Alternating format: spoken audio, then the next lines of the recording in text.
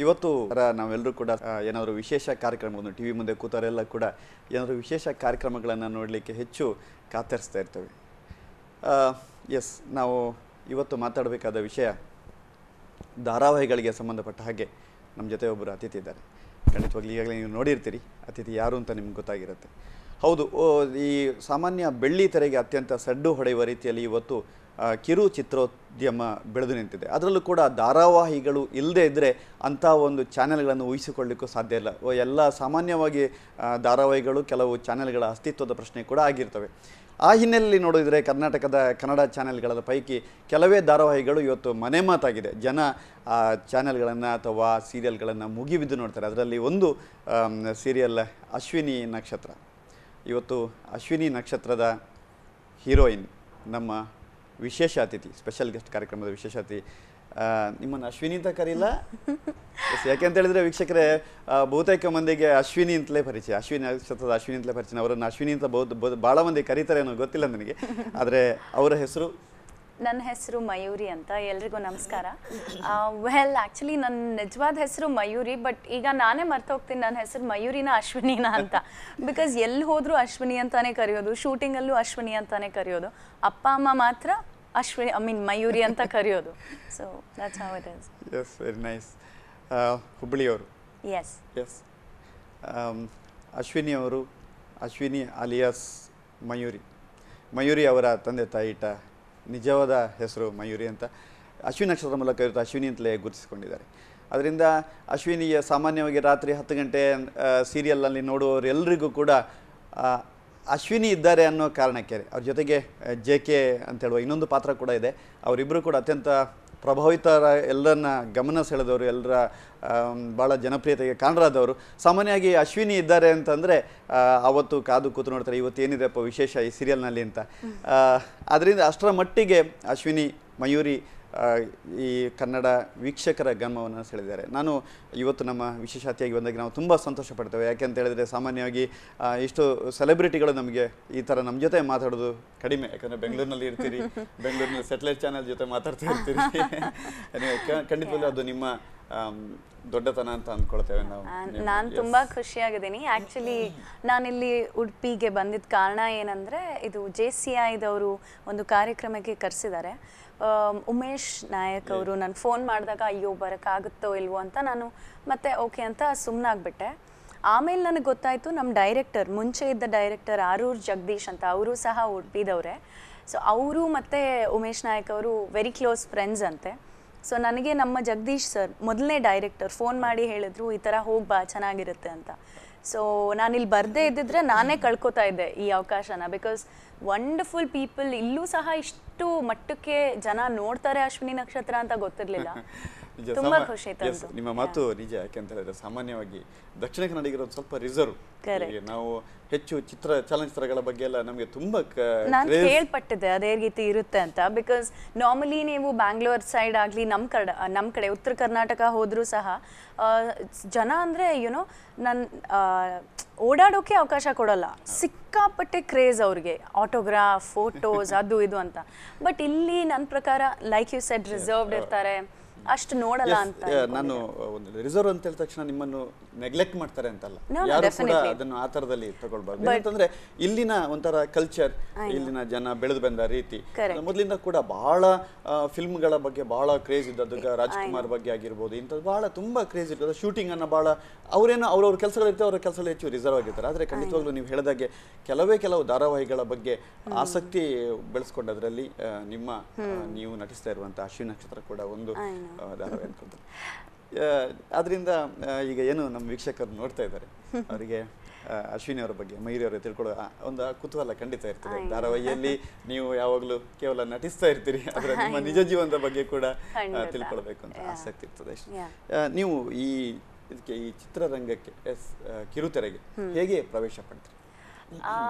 Actually ನಾನು first of all acting acting ಫೀಲ್ಡಲ್ಲಿ ಈ ಇಂಡಸ್ಟ್ರಿ ಬಗ್ಗೆ ನನಗೆ ಏನು ಗೊತ್ತಿಲ್ಲ. ನನ್ನ ಬ್ಯಾಕ್ಗ್ರೌಂಡ್ ಟೋಟ್ಲಿ ಡಿಫ್ರೆಂಟ್ ನಮ್ಮ ತಂದೆ graduate is in to service ನಮ್ಮಮ್ಮ ಸಹ ಅದು ಇದು ಅಂತ ಏನೋ ಫಿನಾನ್ಸ್ ಅದರಲ್ಲೆಲ್ಲ ಇರ್ತಾರೆ. My sister is an engineer so finally I should be a doctor ನಮ್ಮ ಅಪ್ಪ ಅಮ್ಮನ ಪ್ರಕಾರ ನಾನು ಡಾಕ್ಟರ್ ಆಗಬೇಕಿತ್ತು ಅಂತ ಇತ್ತು. ಬಟ್ ಅದು ಡೆಸ್ಟಿನಿ ಅಂತ ಹೇಳ್ತಾರಲ್ಲ ಅದು ನಿಮ್ಮ ಕಡೆ ಹೇಳ್ತಾರಲ್ಲ ಮಾಡಿದ್ದುಣ್ಣೋ ಮಾರಾಯ ಅಂತ. ಸೊ ಅದೇ ರೀತಿ ನಾನು ತುಂಬ ಕಷ್ಟಪಟ್ಟಿದ್ದೀನಿ. ನನ್ನದೇ ಆದಂಥ ಸ್ವಂತ ಏನೋ ಮಾಡಬೇಕು ಅಂತ ಇಚ್ಛೆ ಇತ್ತು. ಸೊ ತುಂಬ ಚಿಕ್ಕ ವಯಸ್ಸಿಂದಾನೇ ನೀವು ನಂಬ್ತಿರೋ ಬಿಡ್ತಿರೋ ಟೆಂತ್ ಸ್ಟ್ಯಾಂಡರ್ಡಲ್ಲೇ ನಾನು ಈ ಕಮ್ಯುನಿಕೇಷನ್ ಸ್ಕಿಲ್ಸ್ ಎಲ್ಲ ಕಲ್ತ್ಕೊಳ್ಳೋಕೆ ನಾನು I C I C I ಪ್ರುಡೆನ್ಷಿಯಲ್ಗೆ ಹೋಗಿದ್ದೆ. So there I also earned ಆವಾಗ್ಲೇ ನನಗೆ ಐನೂರು ರೂಪಾಯಿ ಕೊಟ್ಟಿದ್ರು. ಎರಡ್ ಸಾವಿರಕ್ಕಿಂತ ಜಾಸ್ತಿ ನಾನು ಪೆಟ್ರೋಲ್ ಮೇಲೆ ನಾನು ತಿಂಡಿ ಮೇಲೆ ಖರ್ಚು ಮಾಡಿದ್ದೆ. ಬಟ್ ಕೊನೆಗೆ ಅವ್ರು ಮೂರು ತಿಂಗಳಾದ್ಮೇಲೆ ನನಗೆ ಐನೂರು ರೂಪಾಯಿ ಕೊಟ್ರಲ್ಲ? That was a best happiness ಯಾವತ್ತೂ ಹಾಗೆ ನಮ್ಮ ಬದುಕಿನಲ್ಲಿ ನಾವು ಮೊದ- ಮೊದಲ ಗಳಿಕೆ ಇದೆಯಲ್ಲ ಅದು ಸಣ್ಣ ಅಮೌಂಟ್ ಆಗಿದ್ರು ಕೂಡ.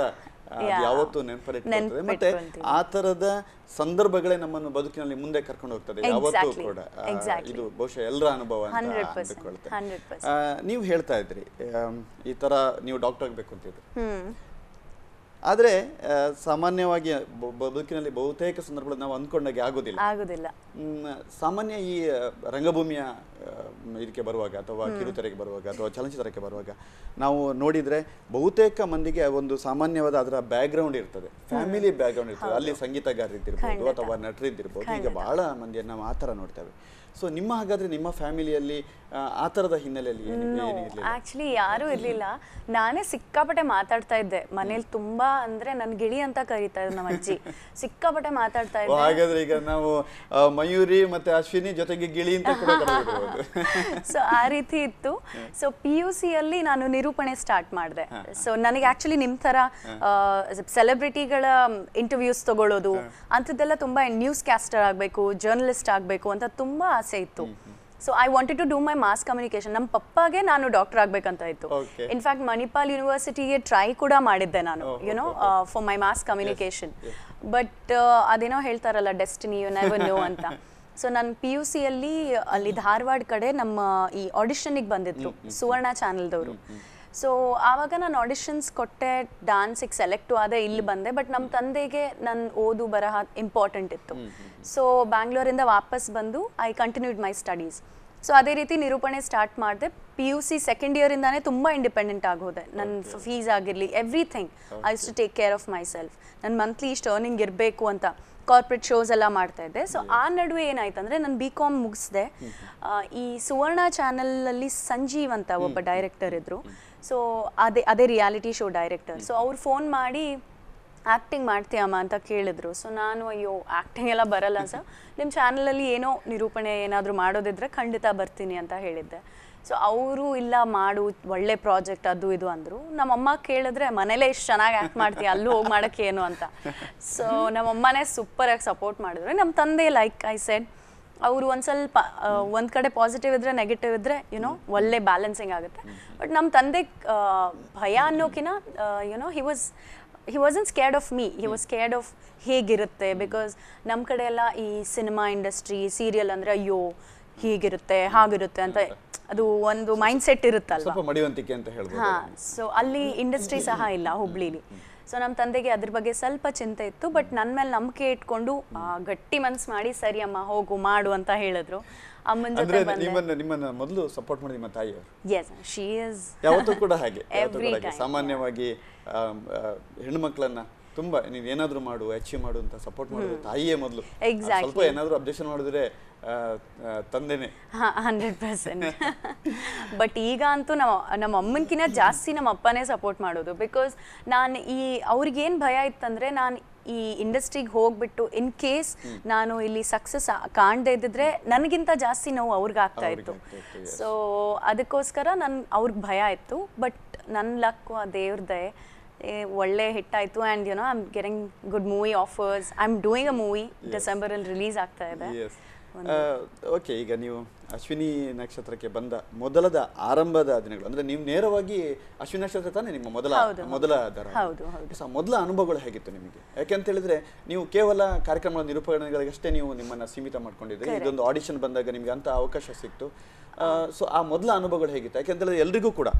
ನಮ್ಮಲ್ಲಿ ಕೂಡ ಕೆಲವು ಬರ ಬರ್ತಾರೆ.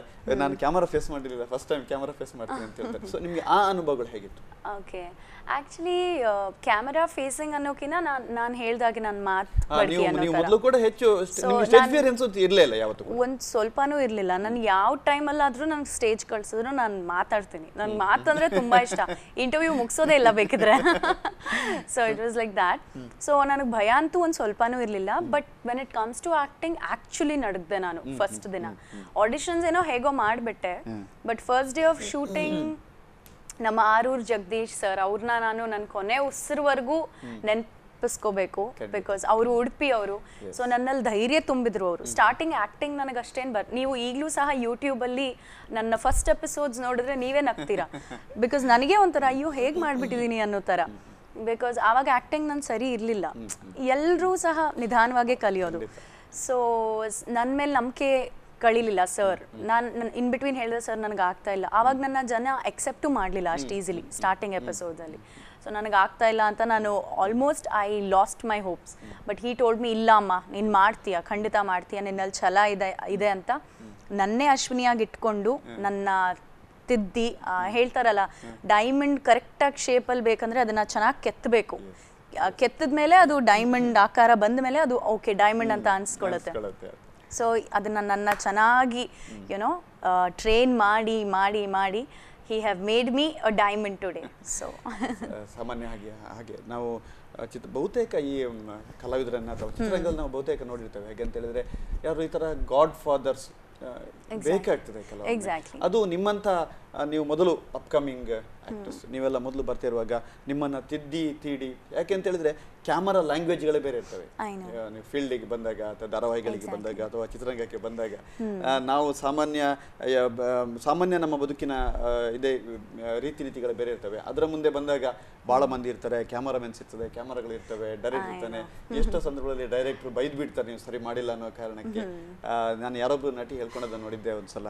ಅವರ ಕೆನ್ನೆಗೂ ಹೊಡೆದು ಬಿಟ್ಟಿದ್ರಂತೆ. ಸೊ ಇಂಥ ಇಷ್ಟು ಇದ್ರಾಗಿ ಅಲ್ಲಿನ ವಾತಾವರಣಗಳಿರ್ತವೆ ವಾತಾವರಣಗಳು ಇರ್ತವೆ ಅದರ ನಡುವೆ ಖಂಡಿತವಾಗ್ಲೂ ಕೂಡ ನಿಮ್ಮನ್ನು ನಮಗೆ ಉಡುಪಿಯವರು ನಿಮ್ಮನ್ನ ಒಂದು ಶೇಪ್ ಮಾಡಿದ್ರು ಅಂತ ಹೇಳೋದಕ್ಕೆ ಡೆಫಿನೆಟ್ಲಿ ಸೊ ಅದಕ್ಕೋಸ್ಕರ ಉಡುಪಿ ನನಗೆ ತುಂಬಾ ಲೈಫ್ ಲಾಂಗ್ ಕ್ಲೋಸ್ ಆಗಿರುತ್ತೆ. So I am so happy.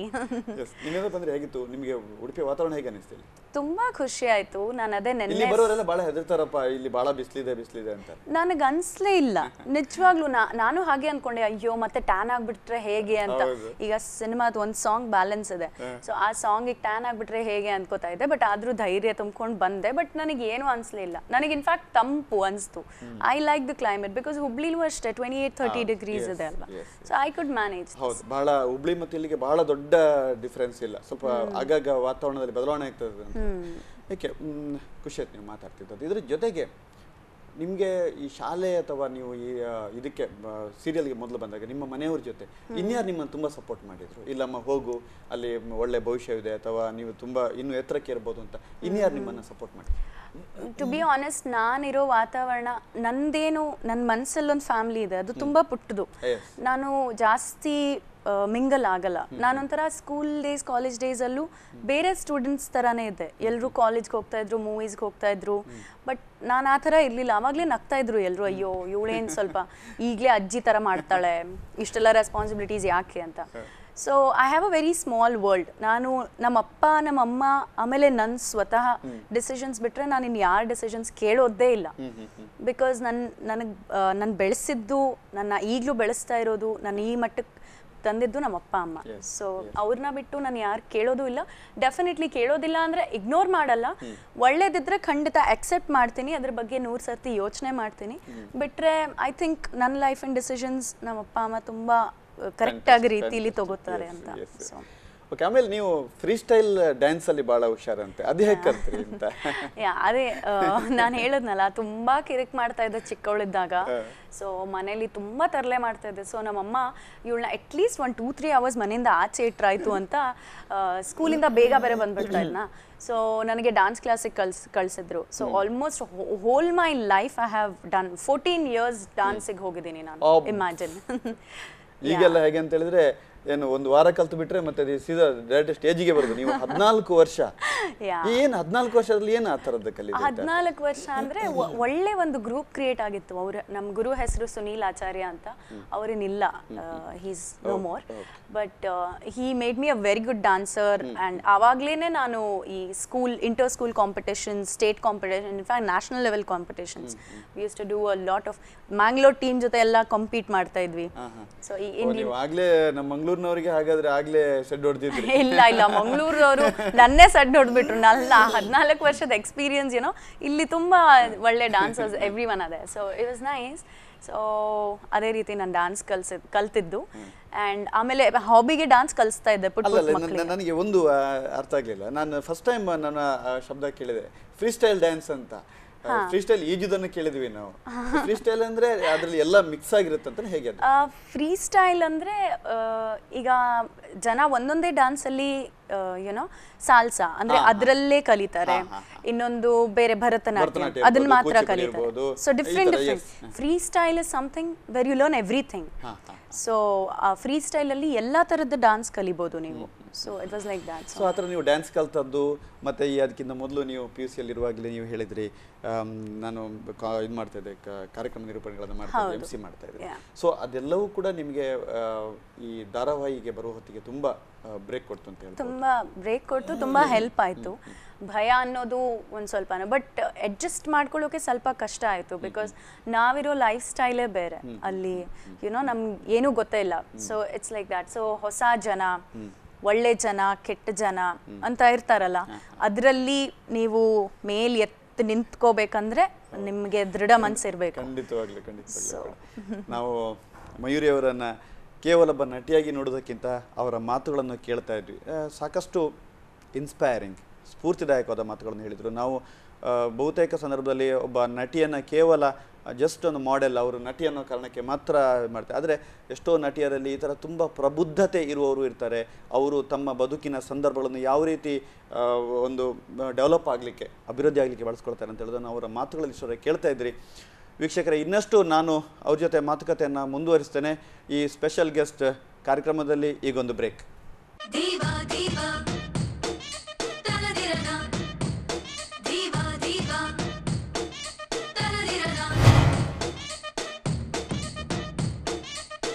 Special guest ಕಾರ್ಯಕ್ರಮಕ್ಕೆ ಮತ್ತೆ ಸ್ವಾಗತ ವೀಕ್ಷಕರೇ. ನಾವು ಅಶ್ವಿನಿ ನಕ್ಷತ್ರ ಧಾರಾವಾಹಿಯ ಹೀರೋಯಿನ್ ಜೊತೆ ಮಾತಾಡ್ತಿದ್ವಿ. ಅಶ್ವಿನಿ ಅವರು ಅವ್ರ ಹೆಸರು ಮಯೂರಿ ಅಂತ ಈಗಾಗಲೇ ಹೇಳ್ಕೊಂಡ್ರು.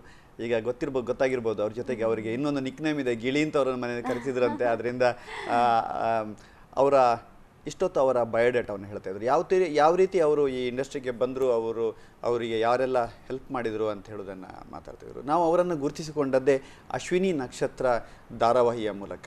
ಎಸ್ ಅಶ್ವಿನಿ ನಕ್ಷತ್ರ ಧಾರಾ ಧಾರಾವಾಹಿಗೆ ಬಂದಾಗ ನೀವು ಹೇಳಿದ್ರಿ ಮೊದಲ ಮೊದಲ ಮೊದಲು ನಿಮ್ಗೇನು ಒಂಥರ ಇದೇನಪ್ಪ ಅಂತ ಅನಿಸ್ತಾ ಇತ್ತು. ಸೊ ಅದು ಪಾಪ್ಯುಲರ್ ಆದಾಗ ನಿಮಗೆ ರೆಸ್ಪಾನ್ಸ್ಗಳು ಹೇಗೆ ಬರ್ತಾ ಇತ್ತು? ಚೆನ್ನಾಗಿತ್ತು. ಈಗ ನೋಡಿ ಆಕ್ಚುಲಿ ನಿರೂಪಣೆ ಮಾಡ್ಬೇಕಿದ್ರೆ ಈಗ ನಿಮ್ಮ ಎಕ್ಸ್ಪೀರಿಯನ್ಸ್ ಅನ್ಸುತ್ತೆ ಅನ್ಸುತ್ತೆ. ನಾವು ಏನ್ ಬೇಕಾದ್ರೂ ಮಾತಾಡ್ಬೋದು. ಮೈಕ್ ಕೊಡ್ತಾರೆ ಒಂದು ಎಜೆಂಡಾ ಕೊಡ್ತಾರೆ. ಹಾಗೆ ಮಾತಾಡ್ತಾ ಹೋಗ್ತೀವಿ ಅದ್ರಲ್ಲಿ ಏನಾದರೂ ಆಡ್ ಆನ್ ಮಾಡ್ತೀವಿ. ಬಟ್ ಈ ಡೈಲಾಗ್ಸ್ ಬಂದಾಗ ಅದ್ರಲ್ಲಿ ಬರೆದಿದ್ದನ್ನೇ ಹೇಳಬೇಕಂದ್ರೆ it's a big task so that was a little difficult but ನಾನು ಹೇಳೋ ಪ್ರತಿ ಡೈಲಾಗ್ಸು ಫೇಮಸ್ ಆಗ್ತಾ ಹೋಯ್ತು. ಈಗ ಜೆ ಕೆ ನನ್ನ ಹೆಂಡತಿ ಅಂತ ಕೂಗೋದು. ಅದು ಸಹ ತುಂಬಾ ಡಿಫ್ರೆಂಟ್ ಅದು ಎಕ್ಸಾಕ್ಟ್ಲಿ ಇನ್ಫ್ಯಾಕ್ಟ್ ನಮ್ಮ ಮನೆಯಲ್ಲೇ ನಮ್ಮ ಅಪ್ಪ ನಮ್ಮಮ್ಮ ಏನಾದರೂ ಕೋಪ ಮಾಡ್ಕೊಂಡ್ರೆ ಹೆಂಡತಿ ಅಂತ ಕೂಗ್ತಾರೆ. ನಮ್ಮಮ್ಮ ಆಗ ಸ್ಮೈಲ್ ಕೊಟ್ಬಿಡ್ತಾರೆ. ಸೊ ಅದೇ ರೀತಿ so it was very nice wonderful response ನಂಗೆ ಗೊತ್ತಿರಲಿಲ್ಲ ಸೀರಿಯಲ್ ಈ ಮಟ್ಟಕ್ಕೆ ನೋಡ್ತಾರೆ ಅಂತ. ಒಂದಿನ ಹಾಗೆ ನಾನು ಹಾಲು ತಗೋಬೇಕು. ರಜಾ ಇತ್ತು. ತುಂಬಾ ದಿನ ಗ್ಯಾಪ್ ಆದಮೇಲೆ ರಜ I got a long break so ಹಾಲು ತಗೋಬೇಕು ಅಂತ ನಾರ್ಮಲ್ ಯುನೋ ಟ್ರ್ಯಾಕ್ಸಲ್ಲಿ ಐ ವೆಂಟ್ ಆ್ಯಂಡ್ ನನಗೆ ಗೊತ್ತಿರಲಿಲ್ಲ. ಅಂದರೆ ಆ ಪಾಪ್ಯುಲಾರಿಟಿ ಯಾವ ಮಟ್ಟಕ್ಕಿದೆ ಅಂತ ಅಲ್- ಅಲ್ಲಿವರೆಗೂ ಗೊತ್ತಿರಲಿಲ್ಲ. ಬಸ್ ಸ್ಟ್ಯಾಂಡಲ್ಲಿ ಒಂದಿಷ್ಟು ಜ ಹುಡುಗಿರು ನಿಂತಿದ್ರು. ಕಾಲೇಜ್ ಬ್ಯಾಗ್ ಹಾಕೊಂಡು ಹುಡುಗರು ಹುಡುಗಿರು. ಸಿಕ್ಕಾಪಟ್ಟೆ ಜನ ಬಸ್ಗೋಸ್ಕರ ವೇಟ್ ಮಾಡ್ತಾ ಇದ್ರು ಏನೋ. ಸೊ ನಾನು ಈ ಸೈಡಿಂದ ಪಾಸ್ ಮಾಡ್ತಾ ಇದ್ದೀನಿ. ಸಡನ್ ಆಗಿ ಅವರು ಅಶ್ವಿನಿ ಅಂತ ನಾನು ಏನಾದರೂ ಕಳ್ತನ ಮಾಡಿದ್ನ ಅಂತ ಓಡ್ ಬಂದ್ಬಿಟ್ರು ಎಲ್ರು. So then I realised okay so ನಾವು ಆಮ್ ಅ ಸೆಲೆಬ್ರಿಟಿ ಅಂತ. So heavy fans wherever I go ಒಳ್ಳೆ ಒಂದೇನಂದ್ರೆ ಎಲ್ಲರೂ ಹೇಳೋದು ತುಂಬ ಒಳ್ಳೆ ಫ್ಯೂಚರ್ ಇದೆ ಅಮ್ಮ ಇನ್ನೂ ಬೆಳಿತೀಯಾ? ಅಷ್ಟೇ ಆಶೀರ್ವಾದ ಮಾಡ್ತಾರಲ್ಲ. ಸೊ ದ್ಯಾಟ್ಸ್ ಅಮೇಝಿಂಗ್ ಸಾಮಾನ್ಯವಾಗಿ ನಾವು ಚಲನಚಿತ್ರದಲ್ಲಿರುವವ್ರನ್ನ ಮಾತ್ರ ಇಷ್ಟವರೆಗೆ ಇಷ್ಟು ಇತ್ತೀಚಿನ ಸಮಯದವರೆಗೂ ಕೂಡ ಸೆಲೆಬ್ರಿಟಿ ಅಂತ ಹೇಳಿ ನೋಡ್ತಾ. ಇರ್ತೀವಿ. ಅವರನ್ನು ಮಾತ್ರ ಫಿಲ್ಮಿನವರನ್ನು ಮಾತ್ರ ಧಾರಾವಾಹಿಗಳಿಗೆ ಕೂಡ ಆ ಥರದ ಒಂದು ಒಳ್ಳೆ ಫ್ಯಾನ್ಸ್ ಸೃಷ್ಟಿಯಾಗಿರುವಂಥದ್ದು. ಅಥವಾ ಅವರು ಕೂಡ ಜನರ ಮುಂದೆ ಅವರು ಕೂಡ ಸೆಲೆಬ್ರಿಟಿ ಅನ್ಸ್ಕೊಂಡದ್ದು ಬಹುತೇಕ ಇತ್ತೀಚೆಗಿನ ಕೆಲವು ಧಾರಾವಾಹಿಗಳ ಮೂಲಕ ಅಂತ. ಅಂದ್ಕೊಳ್ತೇನೆ. ಅಂದ್ರೆ ನಿಮ್ಗೆ ಈಗ ತುಂಬಾ ಫ್ಯಾನ್ಸ್ ಹುಟ್ಕೊಂಡಿದೆ. ಅದರಿಂದ ಡಿಸ್ಟರ್ಬ್ ಆದ್ದು ಅಂತ ಅನ್ಸಿದ್ಯಾ? ಡಿಸ್ಟರ್ಬ್ ಅಲ್ಲ ನಮ್ಮ ರಾಜ್ಕುಮಾರ್ ಸರ್ ಹೇಳ್ಬಿಟ್ಟಿದಾರಲ್ಲ ಅಭಿಮಾನಿಗಳೇ ದೇವ್ರುಗಳು ಅಂತ. ಸೊ ನಿಮ್ಮಿಂದಾನೇ ಬೆಳೆಯೋದು. ಸೊ ಹಾಗಾಗಿ ನನ್ಗೆ ಯಾವ ಡಿಸ್ಟರ್ಬೆನ್ಸು ಅಲ್ಲ. ಬಟ್ ಕೆಲವೊಂದು ಸಲ ಅಂದ್ರೆ ಈಗ ಶಾಪಿಂಗ್ ಹೋಗ್ಬೇಕು ಸೊ ಅಲ್ಲಿ ಇಲ್ಲಿ ಏನಾದರೂ ತಗೋಬೇಕು ಅಂತ ಕಷ್ಟ ಆಗುತ್ತಲ್ಲ ಸೊ ನಾನು ಅವಾಗ ಹಾಗೆ ಹೋದಾಗ ಕನ್ಫ್ಯೂಸ್ ಆಗ್ಬಿಡ್ತಾ ಇತ್ತು ಏನ್ ತಗೊಳ್ಳಿ ಇಲ್ಲಿ ಮಾತಾಡ್ಲಾ ಬಿಕಾಸ್ ಅವ್ರಿಗೂ ಬೇಜಾರಾಗಬಾರ್ದು ನನ್ನ ಕೆಲಸನೂ ಹಾಳಾಗಬಾರ್ದು. ಸೊ ಈಗ ಏನ್ ಮಾಡ್ತೀನಿ ಅಂದ್ರೆ ಸ್ಕಾಫ್ ಕಟ್ಕೊಂಡು ಹೋಗ್ಬಿಡ್ತೀನಿ. ಸೊ ಸೆಲೆಬ್ರಿಟಿ ಆದಾಗ ಒಂದು ಅದು ಆ ತರದ ಸಮಸ್ಯೆಗಳು ಕೂಡ ಇದೆ. ತುಂಬಾ ಇದೆ. ಹೊರಗಡೆ ಹೋದಾಗ ನಿಮಗೆ ಒಂಥರ ಸ್ವಾತಂತ್ರ್ಯ ಇರೋದಿಲ್ಲ ಅಥವಾ ಇನ್ಯಾರ ಜೊತೆನೋ ನಿಮ್ಮ ಒಂಥರ ಜೊತೆಗೆ ಹೋಗ್ಲೇಬೇಕಾಗ್ತದೆ. ಒಬ್ಬೊಬ್ಬರೇ ಓಡಾಡುವಾಗೂ ಕೂಡ ಇಟ್ಸ್ ಲಿಟಲ್ ಡಿಫಿಕಲ್ಟ್ ಅದನ್ನ ನಾವು ತೀರಾ ಜನರನ್ನ ಇದ್ ಮಾಡ್ಲಿಕ್ಕೆ ಆಗುದಿಲ್ಲ ಟೀಕೆ ಮಾಡ್ಲಿಕ್ಕೂ. ಆಗುದಿಲ್ಲ. ಅವರು ದಿನ ಧಾರಾವಾಹಿಗಳನ್ನು ನೋಡ್ತಾ ನೋಡ್ತಾ ನೋಡ್ತಾ ಹೇಗಾಗಿರ್ತಾರೆ ಅಂದ್ರೆ ಯಾಕೆ ನಿಮ್ ಬಗ್ಗೆ ಫ್ಯಾನ್ಗಳು ಉಟ್ಕೊಳ್ತಾರೆ ಅಥವಾ. ಖುಷಿ ಪಡ್ತಾರೆ ಅಂದ್ರೆ ಜನ ಕೂಡ ಆ ಪಾತ್ರದಲ್ಲಿ ಇನ್ವಾಲ್ವ್ ಆಗ್ತಾ ಹೋಗ್ತಾರೆ. ಎಕ್ಸಾಕ್ಟ್ಲಿ ಅವರನ್ನ ಅವ್ರು ನೋಡ್ಕೋತಾರೆ ಆ ಪಾತ್ರದಲ್ಲಿ ಎಷ್ಟೊತ್ತಂದ್ರೆ ಅದು ಒಳ್ಳೆ ಕ್ಯಾರೆಕ್ಟರ್ಗಳಿದ್ದಾಗ ತುಂಬಾ ಮುಗ್ಧತೆ ಕ್ಯಾರೆಕ್ಟರ್ ಇದ್ದಾಗ. ಸೊ ನಿಮ್ಮದು ಇದರಲ್ಲಿ ಬಹಳ ಮುಗ್ಧ ಹೆಣ್ಣಿನ ಪಾತ್ರ ಅಲ್ವಾ? ಹೇಗೆ ಅದು ನಿಮ್ಮ ನಿಮ್ಮ ಪಾತ್ರವನ್ನು ಹೇಗೆ ನೀವು ಅದನ್ನ ನಾನು ಆ್ಯಕ್ಚುಲಿ ನನಗೆ ಸ್ಟಾರ್ಟಿಂಗಲ್ಲಿ ಎಲ್ಲ ಹೇಳೋರು ಈ ಸೀನಿಯರ್ ಅಂದರೆ ಆರ್ಟಿಸ್ಟ್ಗಳೆಲ್ಲ ಐಮ್ ಸೊ ಸಾರಿ ಅಂದರೆ. ಅವ್ರು ಹೇಳೋ ತಪ್ಪಂತ ಇಲ್ಲ ಬಟ್ ನನಗೆ ಹೇಳ್ತಾ ಇದ್ರು ನೀನು ಅದ್ರ ಬಗ್ಗೆ ಸ್ಟಡಿ ಮಾಡಬೇಕು ಫಿಲ್ಮ್ಸ್ ನೋಡಬೇಕು ಅದನ್ನ ಮಾಡಬೇಕು. ಬಟ್ ನಾನೇನು ಮಾಡಿದೆ ಅಂದರೆ ಐ ಸ್ಟಾರ್ಟೆಡ್ ಫೀಲಿಂಗ್ ಇಟ್ ಈಗ ಒಂದು ಡೈಲಾಗ್ ಓದಿದ್ರೆ ಓಕೆ ನಾನು ಹೇಗೆ ಮಾಡ್ತೀನಿ? ಇನ್ನೊಬ್ರು ಅನ್ನೋಕಿನ ಜಗದೀಶ್ ಸರು ಅದನ್ನೇ ಹೇಳು. ನಿನ್ನ ಥರ ನೀನು ಆ್ಯಕ್ಟ್ ಮಾಡಬೇಕು ಅಷ್ಟೇ. ಏನು ತಲೆಯಲ್ಲಿ ಇಟ್ಕೋಬಾರ್ದು ಅಂತ. ಸೊ ನನ್ನ ರಿಯಲ್ ಲೈಫಲ್ಲೂ ಅದೇ ರೀತಿ ಇದ್ದೀನಿ ಅಶ್ವಿನಿ ಥರನೇ ನನಗೆ ಏನಾದರೂ ಅದೇ ಕೋಪ ಬಂದರೆ ಸ್ಟ್ರೈಟ್ ಫಾರ್ವರ್ಡ್ ಆಗಲ್ಲ ಅಂದರೆ ಆಗಲ್ಲ ಆಗುತ್ತೆ ಅಂದರೆ ಒಳ್ಳೆಯವರಿದ್ರೆ ಒಳ್ಳೆಯವರು ಕೆಟ್ಟವರಿದ್ರೆ ತೀರಾ ಕೆಟ್ಟವರು. ಸೊ ಆ ಕ್ಯಾರೆಕ್ಟರ್ ಸಹ ಅದೇ ರೀತಿ. ಸ್ಟಾರ್ಟಿಂಗ್ ಅಲ್ಲಿ ತುಂಬಾ ಬೋಲ್ಡ್ ಇದ್ಲು ಅಶ್ವಿನಿ. ಸೊ ಜೆ ಕೆ ತುಂಬಾ ಕೆಟ್ಟವರಿದ್ರು ಕೋ ಸೇಡ್ಗೋಸ್ಕರ ಮದ್ವೆ ಆಗಿದ್ರು. ಸೊ ಅಪ್ಪ ಅಮ್ ಅಮ್ ಅಪ್ಪಗೆ ದುಡ್ಡು ಕೊಡೋಕೋಸ್ಕರ ಮದ್ವೆ ಆಗಿದ್ರು. ಸೊ ಅವಾಗ ತುಂಬಾ ಲೌಡ್ ಕ್ಯಾರೆಕ್ಟರ್ ಇತ್ತು. ಸೊ ಅವಾಗ ಅವಾಗೆ ಬಂದಿದ್ದೆ ಸೊ ಲೌಡ್ ಆಗಿ ಆಕ್ಟ್ ಮಾಡ್ತಾ ಇದ್ದೆ. ಈಗ ತುಂಬಾ ಸಾಫ್ಟ್ ಆಗ್ಬಿಟ್ಟಿದ್ದೀನಿ. ಗಂಡ ಹೆಂಡತಿ ಸಂಬಂಧ ಚೆನ್ನಾಗಿದೆ. ಸೊ ಒಂಥರ ಮುದ್ ಮುದ್ದಾಗಿ ಈ ಪಕ್ಕಾ ಇಂಡಿಯನ್ ಹೆಂಡತಿ ಹೇಗಿರ್ಬೇಕು ಅಂತ ಆ ಥರ ಇದ್ದೀನಿ. ಖಂಡಿತವಾಗ್ಲೂ ಕೂಡ ಆ ಥರದ ಭಾವನಾತ್ಮಕ ಸಂದರ್ಭಗಳಲ್ಲಿ ಅಥವಾ ಭಾವನಾತ್ಮಕ ಸನ್ನಿವೇಶಗಳನ್ನು ಜೊತೆಗೆ ನಾವು ಆವಾಹನೆ ಮಾಡ್ಕೊಳ್ಳೋದಿದೆಯಲ್ಲ ನಿಜಕ್ಕೂ ಅದು ಒಳ್ಳೆ ದೊಡ್ಡ ಪ್ರತಿಭೆ ಅದು. ಎಕ್ಸಾಕ್ಟ್. ಅದು ವರ್ಕ್ ಆಗುತ್ತೆ. ಈಗ ನೀವು ಅಳ್ಬೇಕಿದ್ರೆ ನೀವು ಏನಾದ್ರೂ ನೆನ್ಸ್ಕೊಂಡು ಅಳೋಕಿನ ಈ ಸ್ಕ್ರಿಪ್ಟ್ ಅಲ್ಲಿ ಏನಿರುತ್ತೆ ಅದನ್ನೇ ಅದನ್ನೇ ನಿಮ್ ಜೀವನದಲ್ಲಿ ಆಗ್ಬಿಟ್ಟಿದೆ ಅಂತ ಒಂದ್ ಹತ್ತು ನಿಮಿಷ ಕಣ್ಮುಚ್ಕೊಂಡ್ಬಿಟ್ರೆ ಆಟೋಮೆಟಿಕ್ಲಿ ಅಳು ಬಂದ್ಬಿಡುತ್ತೆ. So you should get into the character no not act like someone else. ಅಂದ್ರೆ ಎಷ್ಟೋ ಸಲ ಗ್ಲಿಸರಿನ್ ಅಗತ್ಯ ಇಲ್ಲ. ಅಗತ್ಯ ಇಲ್ಲ. ನಾನು ಹತ್ಬಿಡ್ತೀನಿ ಹಾಗೆ. ಪಾತ್ರಗಳ ಜೊತೆ ಇನ್ವಾಲ್ವ್ ಆಗ್ತಾ ಆಗ್ತಾ ಹೋದಾಗೆ ನಮಗೆ ತುಂಬಾ ನಿಜವಾದ ನೈಜವಾದ ಒಂದು ಆವಾಗಲೇ ಅದು ಜನಕ್ಕೆ ರೀಚ್ ಆಗೋದು. ನಾವು ತುಂಬ ಡ್ರಮ್ಯಾಟಿಕ್ ಆಗಿ ಇಲ್ಲ ಆಕ್ಟ್ ಮಾಡಿದ್ರೆ ಅದು ಜನಕ್ಕೆ ರೀಚ್ ಆಗಲ್ಲ. ನಾನು ನಿಮ್ಮನ್ನ ರೀಚ್ ಆಗ್ಬೇಕಂದ್ರೆ ಆ ಫೀಲ್ನ ನಿಮ್ಮ ಕಣ್ಣಿಗೆ ತರಬೇಕು ನಾನು.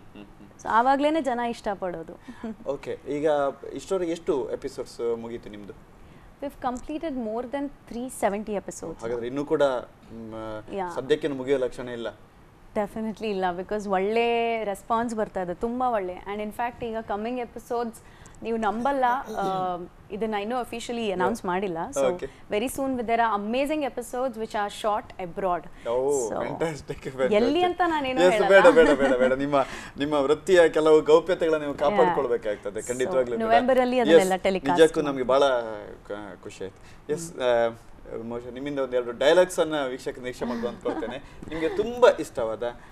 ತುಂಬಾ ಕ್ಯಾಚಿ ಅನ್ಸಿದ ಒಂದೆರಡು ಓಕೆ ಒಂದೆರಡು. ಎರಡು. ಒಂದು ನನ್ನ ಜೀವನದಲ್ಲಿ ಡೈಲಾಗ್ ಅಂತ ಡೈಲಾಗ್ ಇದಕ್ಕೆ ಅಂತಾರೆ ಅಂತ ಗೊತ್ತಾಗಿದ್ದು ಈ ಡೈಲಾಗ್ ಇಂದ. ಏ ಜೆ ಕೆ ಅಲ್ಲಿ ಮೊದಲು ಸಾರಿ ಹೇಳೋದನ್ನ ಕಲ್ತ್ಕೊ. ದುಡ್ಡನ್ನ ಯಾರು ಬೇಕಾದರೂ ಎಸಿಬೋದು. So this is one first dialogue okay ಅದು ಫಸ್ಟ್ ಡೈಲಾಗ್ ಆಮೇಲೆ ಸೆಕೆಂಡ್ ಡೈಲಾಗ್ ಅವರು ನನ್ನ ಹೆಂಡತಿ ಹೆಂಡತಿ ಹೆಂಡತಿ ಅಂತ ಕೂಗ್ತಾರಲ್ಲ? ಆವಾಗ ಆವಾಗ ಆವಾಗ ನಾನು ಹ್ಯಾಪಿ ಮೂಡಲ್ಲಿದ್ದಾಗ ಅವ್ರಿಗೆ ಪತಿದೇವ ಅಂತ ಕರಿತೀನಿ. ಸೊ ದೀಸ್ ಆರ್ ಈ ಥರ ಈ ಪತಿದೇವ ಅಥವಾ ಹೆಂಡತಿ ಅಂತ ಈ ಥರ ಡಿಫರೆಂಟ್ ಆಗಿ ಒಂದು ಡೈಲಾಗ್ ಅನ್ನು ಕೊಡಬೇಕು ಅಥವಾ ಈ ಥರ ಕರೆಯುವುದನ್ನು ಹೊಸ ರೀತಿಯಲ್ಲಿ ಮಾಡಬೇಕು ಅನ್ನೋಂಥದ್ದು ಯಾರ ಕಲ್ಪನೆ? ಅಥವಾ ಅದ್ರ ಬಗ್ಗೆನೂ ಡಿಸ್ಕಸ್ ಆಯ್ತಾ ನಿಮ್ಮ ಇದರಲ್ಲಿ ಶೂಟಿಂಗ್ ಫೀಲ್ಡಲ್ಲಿ ಈಗ ನೋಡಿ ಆಕ್ಚುಲಿ ಒಂದು ಪ್ರಾಜೆಕ್ಟ್ ಸಕ್ಸಸ್ ಆಗಬೇಕಂದ್ರೆ ಒಬ್ಬರಿಂದ ಖಂಡಿತ ಮಾಡಕ್ ಸಾಧ್ಯ ಇಲ್ಲ. ಅದು ಹೇಳ್ತಾರಲ್ಲ ಹನಿ ಹನಿ ಗೋಡಿದರೆ ಹಳ್ಳ ಅಂತ.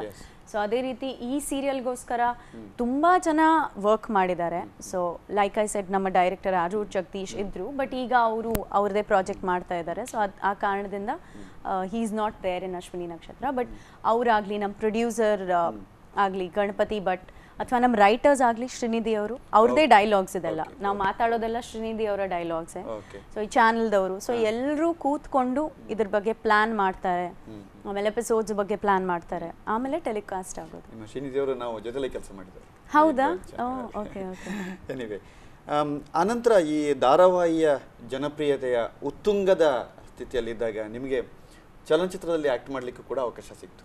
ಹೌದು. ಸೊ ಅದು ಹೇಗೆ? ನಿಮ್ಮನ್ನ ಯಾರು ಗುರುತಿಸಿದ್ರು ಯಾರು ಕರೆದ್ರು? ಆ, ಮತ್ತೆ ಆ- ಆ ಫಿಲ್ಮ್ ಬಗ್ಗೆ ಸ್ವಲ್ಪ. ವೆಲ್ ಆ್ಯಕ್ಚುಲಿ ಅಶ್ವಿನಿ ನಕ್ಷತ್ರ ಸ್ಟಾರ್ಟ್ ಆದ ಏಳು ಎಂಟು ತಿಂಗಳಾದಮೇಲೆ ನನಗೆ ಸಿನಿಮಾ ಆಫರ್ಸ್ ಬರೋಕ್ಕೆ ಸ್ಟಾರ್ಟ್ ಆಯಿತು. ಬಟ್ ನನಗೆ ಭಯ ಇತ್ತು ಅಯ್ಯೋ ಇಷ್ಟು ಬೇಗ ನಾನು ಸಿನಿಮಾ ಹೋಗೋಕೆ ರೆಡಿ ಇದ್ದೀನಾ ಅಥವಾ ಸಿನಿಮಾ ಹೇಗಿರುತ್ತೋ ಏನೋ ನಾನು ಮಾಡ್ತೀನೋ ಇಲ್ವೋ? ಬಿಕಾಸ್ ಇತ್ತೀಚೆಗೆ ಬರೋ ಸಿನಿಮಾ ಎಲ್ಲ ಸಿನಿಮಾ ಅಲ್ಲ ಬಟ್ ಮೋಸ್ಟ್ ಆಫ್ ಇಂಪಾರ್ಟೆನ್ಸ್ ಹೆಣ್ಮಕ್ಳಿಗೆ ಸ್ವಲ್ಪ ಆ್ಯಕ್ಟಿಂಗ್ ಅಂತ ಕಡಿಮೆ. ಸೊ ಅದಕ್ಕೋಸ್ಕರ ನಾನು ಎಲ್ಲದಕ್ಕೂ ಓಕೆ ಸರ್ ನಾಳೆ ಆವತ್ತು ಇವತ್ತು ಅಂತ ಸುಮ್ಮನೆ ರಿಜೆಕ್ಟ್ ಮಾಡ್ತಾ ಇದ್ದೆ ಬಟ್ ಒಂದಿನ ಫೋನ್ ಬಂತು ನಮ್ಮ ಶಶಾಂಕ್ ಸರ್ದು. ದೊಡ್ಡ ದೊಡ್ಡ ಸಿನಿಮಾ ಲೈಕ್ ಬಚ್ಚನ್ ಮೊಗ್ಗಿನ ಮನಸ್ಸು ಕೃಷ್ಣನ್ ಲವ್ ಸ್ಟೋರಿ ಸೊ ಇಂಥ ದೊಡ್ಡ ದೊಡ್ಡ ಸಿನಿಮಾ ಲಾಂಚ್ ಮಾಡಿದ್ವಿ. ಆಮೇಲೆ ನಮ್ಮ ಯಶ್ ಅವರು ರಾಧಿಕಾ ಪಂಡಿತ್ ಅವರು ಅವರಿಂದಾನೇ ಲಾಂಚ್ ಆದವರು. ಸೊ ಅವ್ರ ಫೋನ್ ಬಂತು ಸಿನಿಮಾ ಮಾಡ್ತೀಯಮ್ಮ ಅಂತ ಕೇಳಿದ್ರು. ಆವಾಗ ನನಗೆ ಎರಡು no second thought I told yes because launch ಆದರೆ ಶಶಾಂಕ್ ಸರ್ ಅಂತ ಡೈರೆಕ್ಟರ್ ಥ್ರೂ ಲಾಂಚ್ ಆಗಬೇಕು. So I sir yes and he call me for a screen test I went ಮಾತುಕತೆ ಆಯಿತು. ಏ ಸಿನಿಮಾ ಬಗ್ಗೆ ಏನೂ ಮಾತಾಡೇ ಇಲ್ಲ. ಮೋಸ್ಟ್ಲಿ ನಾನು ಹೇಗೆ ಮಾತಾಡ್ತೀನಿ ಅಂತ ಅವರಿಗೆ ನೋಡಬೇಕಿತ್ತೋ ಏನೋ. ಸೊ ಒಂದೆರಡು ಮಾತಾಯಿತು ವಾಪಸ್ ಬಂದೆ. ಆಮೇಲೆ again the next time I get a call ಈ ಸೈಜ್ ಇನ್ನೊಮ್ಮೆ ಸ್ಕ್ರೀನ್ ಟೆಸ್ಟ್ ಮಾಡಬೇಕು. ನಾನು ಅಯ್ಯೋ ಇದಂಥ ಕಷ್ಟ ಅಪ್ಪ ಅಂತ. ಹೋದೆ ನಾನು ಸ್ಕ್ರೀನ್ ಟೆಸ್ಟ್ ಅಲ್ಲ ಅಮ್ಮ ನಾಳೆ ನಿನ್ನ ಫೋಟೋ ಶೂಟ್ ಇದೆ ನೀನ ನನ್ನ ಸಿನಿಮಾ ಹೀರೋಯಿನ್ ಅಂತ ಹೇಳಿದ್ರು. ಸೊ ಆವಾಗ that was the best day of my life so next ಡೇನೆ ನಮ್ಮ ಫೋಟೋ ಶೂಟ್ ಆಯಿತು. ಆಮೇಲೆ ಇನ್ನೊಂದು ಪ್ಲಸ್ ಪಾಯಿಂಟ್ ಏನಂದರೆ ಅಜಯ್ ರಾವ್. ಸೊ ಅವರೇ ಪ್ರೊಡ್ಯೂಸರ್ ಈ ಸಿನಿಮಾಗೆ ಅವರೇ ಹೀರೋ ಸೊ ಅವ್ರು ಎಲ್ ಇಷ್ಟು ವರ್ಷ ಎಲ್ಲ ಸಿನಿಮಾದಲ್ಲಿ ದುಡ್ದಿದ್ದನ್ನ ಈ ಸಿನಿಮಾಗೆ ಹಾಕ್ತಾ ಇದ್ದಾರೆ. ಅದು ನನ್ನ ಮೇಲೆ ರಿಸ್ಕ್ ತಗೊಂಡು. So that was add on to me so ಈ ಸಿನಿಮಾ ಬಗ್ಗೆ ತುಂಬ ಎಕ್ಸ್ಪೆಕ್ಟೇಷನ್ಸ್ ಇದೆ. ಒಳ್ಳೆ ಆ್ಯಕ್ಟಿಂಗ್ ಸಹ ತುಂಬ ಸಾಫ್ಟ್ ಕ್ಯಾರೆಕ್ಟರ್ ಕೃಷ್ಣ ಲೀಲಾ. ಅದರಲ್ಲಿ ನನ್ನ ಹೆಸರು ಲೀಲಾವತಿ ಅಂತ ಅವರು ಹೆಸರು ಕೃಷ್ಣ ಅಂತ. So it's a very soft character soft character ಅನ್ನೋಕಿನ ಈ ನಾರ್ಮಲ್ ಹುಡುಗಿರು ಈ ಕಾಲೇಜ್ಗೆ ಹೋಗೋ ಹುಡುಗಿರಿಗೆ ಕನೆಕ್ಟ್ ಆಗುವಂಥ ಕ್ಯಾರೆಕ್ಟರ್ ಇದು. ಸೊ ಎಲ್ಲರೂ ಡೆಫಿನೆಟ್ಲಿ ಎಂಜಾಯ್ ಮಾಡ್ತಾರೆ. ಒಳ್ಳೆ ಆಕ್ಟಿಂಗ್ ಸ್ಪೇಸ್ ಸಿಕ್ಕಿದೆ.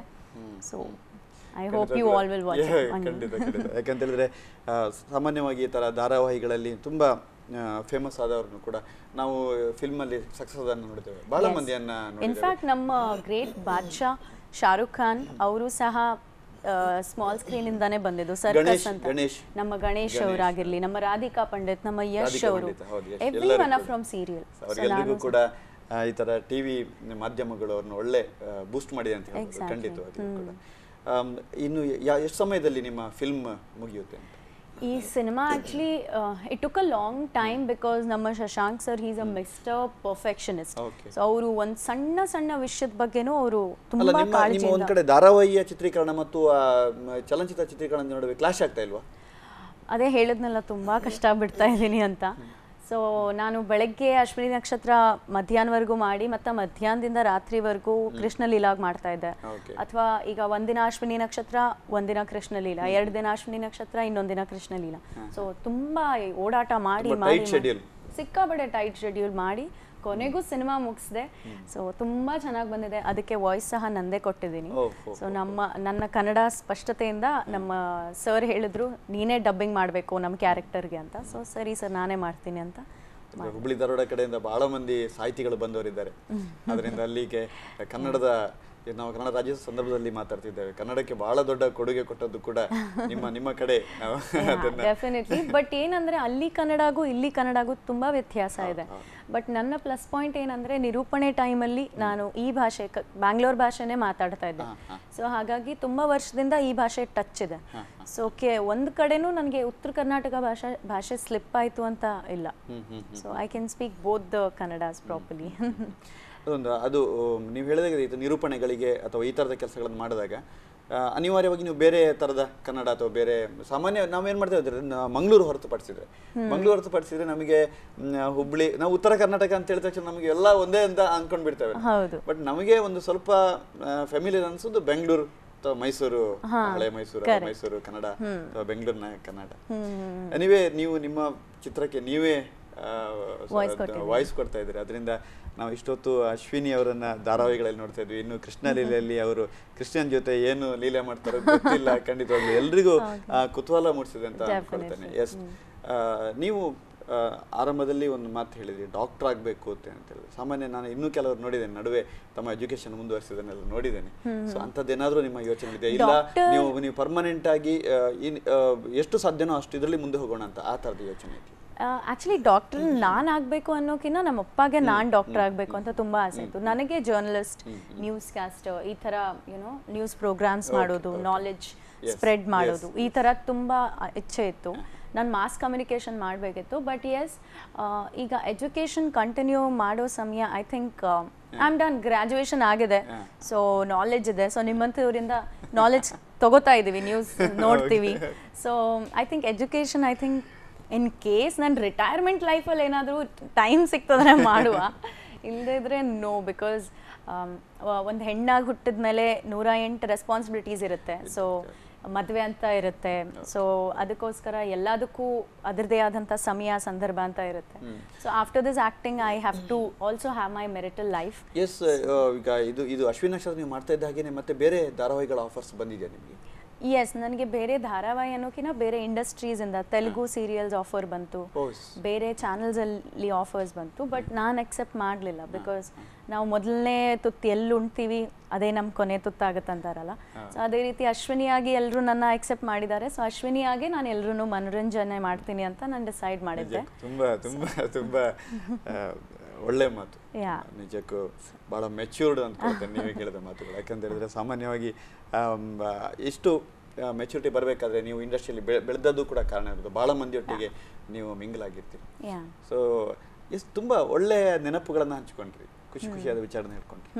ಸೊ ಯಾವತ್ತಾದ್ರೂ ನಿಮಗೆ ಇಂಡಸ್ಟ್ರಿಯಲ್ಲಿ ತುಂಬ ನೋವು ಅನಿಸಿದ್ಯಾ ಇಂಡಸ್ಟ್ರಿಯಲ್ಲಿ ನೋವು ಅನ್ಸೋಕ್ಕಿಂತ ಪ್ರತಿ ಒಂದು ಫೀಲ್ಡ್ ಅಲ್ಲಿ ಹೋದ್ರು ಸಹ ನಮ್ಗೆ ಒಳ್ಳೇದು ಇರುತ್ತೆ ಎರಡು ಇರುತ್ತೆ ಎರಡು ಆದ್ರೂ ಆದ್ರೂ ಕೆಲವೊಮ್ಮೆ ನಮ್ಮನ್ನು ಡಿಸ್ಟರ್ಬ್ ಮಾಡಿದಂತ ಸಂದರ್ಭಗಳು ಇರ್ತವೆ. ಪರ್ಟಿಕ್ಯುಲರ್ ಪರ್ಸನ್ ಅಂತ ಅಲ್ಲ ಸಿಚುವೇಶನ್ಸ್ ಅಂದ್ರೆ ನನಗೆ ಕೆಲವೊಂದ್ಸಲ ಈಗ ನಾನು ಇಂಡಸ್ಟ್ರಿಯವಳಲ್ಲ ಸೊ ನನಗೆ ಯಾವ ಬ್ಯಾಕ್ ಗ್ರೌಂಡ್ ಇಲ್ಲ ಅಥವಾ ಆಕ್ಚುಯಲ್ ಗಾಡ್ ಫಾದರ್ ಇಲ್ಲ ಅಂದ್ರೆ ಯಾವಾಗ್ಲೂ ಜೊತೆಗಿದ್ದು ಇಲ್ಲಿ ಹೋಗ್ಬೇಕು ಇಲ್ಲಿ ಕೂತ್ಕೋಬೇಕು ಈ ತರ ಮಾತಾಡ್ಬೇಕು ಅಂತ ಯಾರು ಹೇಳ್ಕೊಟ್ಟಿಲ್ಲ. ಸೊ ಕೆಲವೊಂದ್ಸಲ ನಾನು ಗೊತ್ತಿದ್ದು ಗೊತ್ತಿಲ್ಲದೆ ತಪ್ಪು ಮಾಡ್ತೀನಿ. ಸೊ ಆವಾಗ ಏನಾಗುತ್ತೆ ಅಂದ್ರೆ ಇಂಡಸ್ಟ್ರಿಯಲ್ಲಿ ಇದ್ದವರು ಅಥವಾ ಇದರಲ್ಲೇ ಕಾಲ ಕಳೆದವರು ಅವರು ಒಂದು ಸ್ವಲ್ಪ ಡಿಸ್ಕರೇಜ್ ಮಾಡೋದು. ಆಮೇಲೆ ಯಾರಾದರೂ ಬೆಳೀತಾ ಇದ್ದಾರೆ ಅಂದರೆ ಅವ್ರನ್ನ ಇನ್ನೂ ಬೆಳೆಸೋರ್ಕಿಂತ ಹಿಂದೆ ತಳ್ಳೋರು ಜಾಸ್ತಿ ಇರ್ತಾರೆ.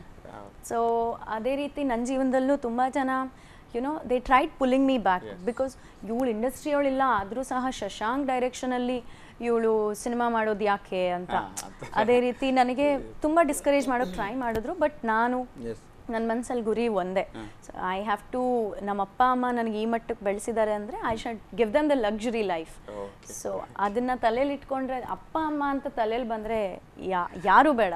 ಆಮೇಲೆ ಈ ಅಶ್ವಿನಿ ಶೂಟಿಂಗ್ ಅಶ್ವಿನಿ ನಕ್ಷತ್ರ ಶೂಟಿಂಗ್ ಆಗ್ತಾ ಇರ್ತಾರೆ ಜೆ ಕೆ ಅವ್ರು ತುಂಬಾ ಹೈಟ್ ಅಲ್ವಾ? ನೀವು ಅದನ್ನ ಹೇಗೆ ಮ್ಯಾನೇಜ್ ಮಾಡ್ತಿದ್ರು? ಹೈಟ್ ಬಿಡಿ ಏಜ್ ಕೇಳಿ.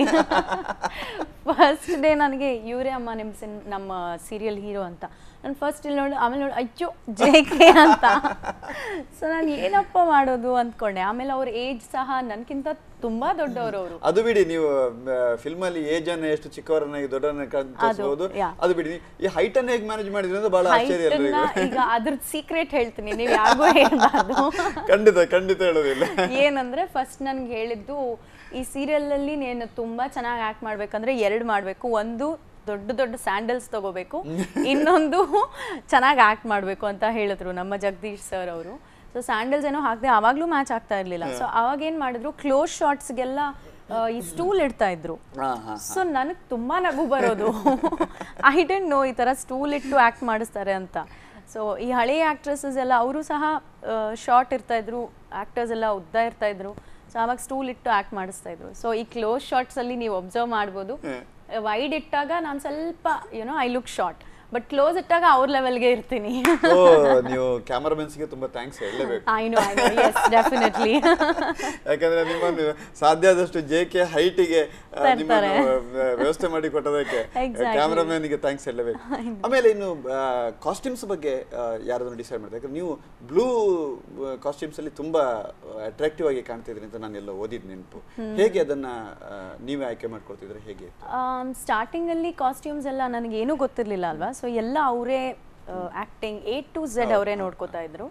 ಬಟ್ ಬರ್ತಾ ಬರ್ತಾ ಆ ಕ್ಯಾರೆಕ್ಟರ್ ನನ್ನಲ್ಲಿ ಬಂದ ಮೇಲೆ ಸೊ ನಾನು ಡಿಸೈಡ್ ಮಾಡಿದೆ ನನ್ನ ಕಾಸ್ಟ್ಯೂಮ್ಸ್ ನಾನೇ ಆಯ್ಕೆ ಮಾಡ್ಕೋತೀನಿ ಅಂತ. ಬಟ್ ನನಗೆ ಹೇಳಿದ್ದಾರೆ ಈ ಥರ ಕಾಸ್ಟ್ಯೂಮ್ಸ್ ಇರಬೇಕು. So so regular normal chudidars ಅಷ್ಟೇ ಹಾಕಿದ್ದೀನಿ. ಸೊ ಎಸ್ ಡಾರ್ಕ್ ಕಲರ್ಸ್ ಜಾಸ್ತಿ ಇಷ್ಟ ನನಗೆ. So dark colours okay Ashwini ಅವರೇ ಬೇಡ ಮಯೂರಿ ಅಂತಲೇ ಕರೆಯೋಣ. ಯಾಕೆ? ನಾನು ನಾವು ಮತ್ತೆ ಮೀಡಿಯಾದವರು ಕೂಡ ಅವರ ನಿಜ ಹೆಸರು ಕರೆದಿದ್ರೆ ಹೇಗೆ? ಎಲ್ಲರೂ ಅಶ್ವಿನಿ ಅಶ್ವಿನಿ ಅಂತ ಕರೆಯೋದು. ನಾವು ಮಾಧ್ಯಮದವರಾದ್ರು ಅವರ ಅಪ್ಪ ಅಮ್ಮ ಬಿಟ್ಟರೆ ಮತ್ತೆ ನಾವು ಮಾಧ್ಯಮದವರಾದ್ರು ಕರೆಯೋಣ.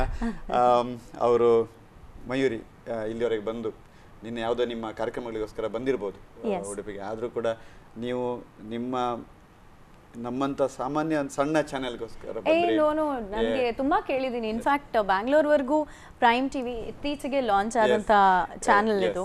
So definitely super duper hit ಆಗಲಿ. ಪದೇ ಪದೇ ನನ್ನ ಕರೆಸ್ತಾ ಇರಿ ಬರ್ತಾ ಇರ್ತೀನಿ. ಖಂಡಿತ. ಇನ್ನೊಂದ್ಸಲ ಬಂದಾಗ ಕೂಡ ಬರಬೇಕು. ಮಾತಾಡಬೇಕು. ನಿಜಕ್ಕೂ ನಾನು ನಾನು ಆಗ್ಲೇ ನಿಮ್ಮ ಹತ್ರ ಹೇಳಿದ ಹಾಗೆ ನಿಮ್ಮನ್ನು ಕೇವಲ ಒಬ್ಬ ನಟಿಯಾಗಿ ಅಷ್ಟಕ್ಕೆ ಮಾತ್ರ ನೋಡದೆ ನಿಮ್ಮ ಹತ್ರ ಒಬ್ಬ ಪ್ರಬುದ್ಧ ಮಹಿಳೆಯಾಗಿ ನಿಮ್ಮನ್ನು ನೋಡುವಂತ ನಿಮ್ಮ ಮಾತುಗಳ ಮೂಲಕ ನೋಡುವಂತ ಅವಕಾಶ ಖಂಡಿತ ನಮ್ಮ ವೀಕ್ಷಕರಿಗೆ ಸಿಕ್ಕಿದೆ ಅಂತ ಕೊಡ್ತೇನೆ. ನೀವು ಅಲ್ಲಿಂದ ಇಲ್ಲಿವರೆಗೆ ಬಂದ ನಮ್ಮ ಜೊತೆ ಇಷ್ಟೊತ್ತು ಮಾತಾಡೋದಕ್ಕೆ ತುಂಬಾ ಧನ್ಯವಾದ. ಥ್ಯಾಂಕ್ ಯು ಸೋ ಮಚ್ ಹೀಗೆ ಬೆಳೆಸ್ತಾ ಇರಿ ಉಡುಪಿಯವರು ನನ್ನ ಸಿನಿಮಾಸ್ ನೋಡಿ ಅಶ್ವಿನಿ ನಕ್ಷತ್ರ ನೋಡ್ತಾ ಇರಿ. So thank you so much ವೀಕ್ಷಕರ, ಇಷ್ಟೊತ್ತು ನೋಡಿದರೆ ನಮ್ಮ ಜೊತೆ ಅಶ್ವಿನಿ ಅವರು ಮಾತಾಡಿದರು. ಅವರು ಸಾಕಷ್ಟು ಅವರ ಅನುಭವಗಳನ್ನು ಹಂಚಿಕೊಂಡ್ರು. ಇದು ಇವತ್ತು ನಮ್ಮ ವಿಶೇಷ ಅತಿಥಿಯಾಗಿ ಬಂದಕ್ಕೆ ಅವರೆಲ್ಲರೂ ಕೂಡ ನಿಮ್ಮ, ನಮ್ಮ ವೀಕ್ಷಕರ ಪರವಾಗಿ ಧನ್ಯವಾದ. ಸಮರ್ಪಿಸ್ತಾ ಈ ಕಾರ್ಯಕ್ರಮವನ್ನು ಮುಗಿಸೋದಾಗಿ ಅವರಿಗೆ ಉಜ್ವಲ ಭವಿಷ್ಯ ಅವರ ಧಾರಾವಾಹಿಗಳಲ್ಲಿ ಸಿಗಲಿ, ಅವರ ಹೊಸ ಚಿತ್ರ ಬರ್ತಾ ಇದೆ ಕೃಷ್ಣಲೀಲ. ಅದರಲ್ಲೂ ಕೂಡ ಅವರು ಮನೆ ಮಾತಾಗುವಾಗೆ ಆಗಲಿ ಅಂತ ಆಶಿಸ್ತಾ ಕಾರ್ಯಕ್ರಮವನ್ನು ಮುಗಿಸ್ತಾ ಇದ್ದಾವೆ. ನಮಸ್ಕಾರ.